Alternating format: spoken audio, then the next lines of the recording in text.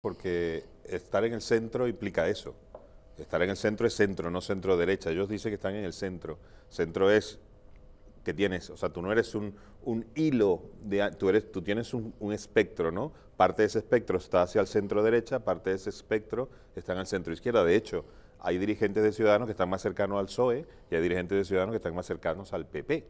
Entonces, dentro del partido hay esas dos formas de ver la vida y tienes que medio congeniarlas, ¿no? Eso implica que su, creo yo, el rol de Ciudadanos en sí es dar y otorgar gobiernos dependiendo del sitio y dependiendo de la situación. No es lo mismo un gobierno en Cataluña que un gobierno en el País Vasco o en la comunidad autónoma vasca o en Galicia o en Andalucía. Son diferentes situaciones y diferentes marcos, creo yo. ¿no? Entonces, en ese caso, Ciudadanos, yo creo que sencillamente aparte de dejar eh, detrás, digo yo, la estrategia como partido, también ves un poco la realidad de la, de, la, de, la, región. Por ejemplo, en Castilla y León están ahora con el PSOE o con el Partido Popular. El Partido Popular lleva 30 años allí gobernando y toda la campaña fue en función de hay que echar al Partido Popular.